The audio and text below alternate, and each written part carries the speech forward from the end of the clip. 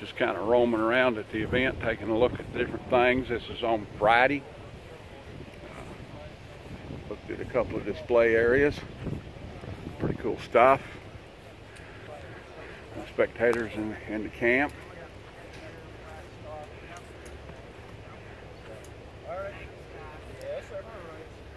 Got a fella walking over through there. I'm trying to avoid going up to him saluting him, but I will if I have to. Got a command car sitting over here, which is also a reconnaissance vehicle. A couple of pretty cool Jeeps.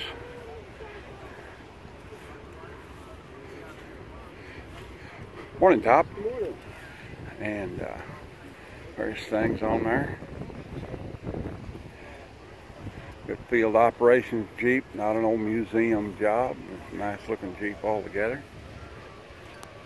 30 caliber Browning on it, quite a few machine guns.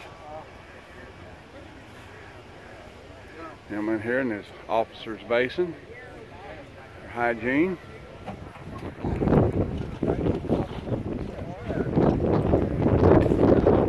Big hairy ass event, but it's not the big hairy ass day. Tomorrow is the big hairy ass day.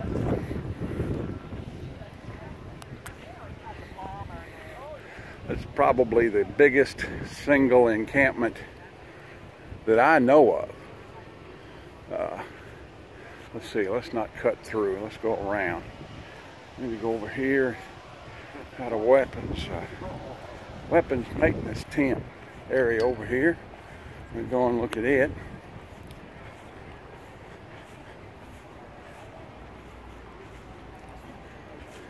Here's Greg Holt's Bordello clap shack. Where you, this is the this is the tent with all the people in it. They're here for VD treatment.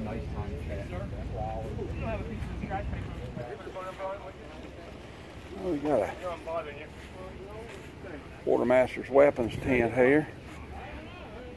Collection of carbines, and M1 rifles. Kind of wonder where they're all at and why you can't buy one. Probably got them all here. Never mind. There's a carbine with a rifle grenade launcher on it. Fairly rare.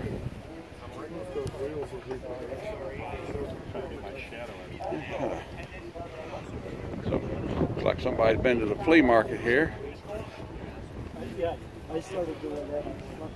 Been to the Louisville Gun Show. Got a cart full of guns there.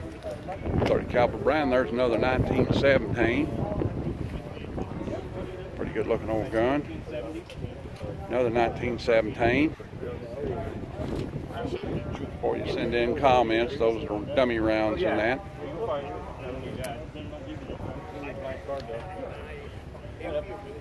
And we got a couple of grease guns laying there.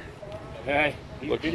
Looks like a table at the Louisville Gun Show. Yeah, I can text you. That's the way to. get over Show it. shows or regular In lines anymore. Both? I don't, I don't, I'm never near land. They have a lot of Garands and all that there now? You can check my- We were gonna make it last year, but it hit the snowstorm up here.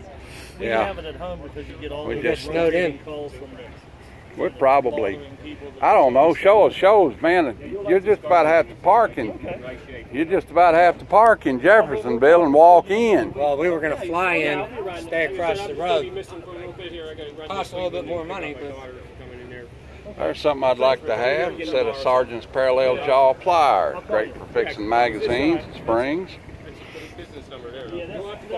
BAR magazines, try and keep them dripping over the tent ropes. 304. Recognize that. Pretty good collection of magazines, 1911s, maintenance equipment. Outstanding stuff. Free tent pegs. Help yourself. 1919. Looks like I've been blazing away with that guy a little bit.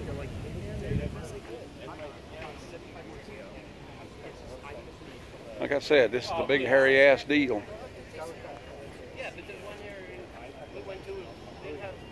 I like that show. That one. Oh, yeah, yeah, it was, it was a nice one. They- Louisville does. Well, that's about enough of that.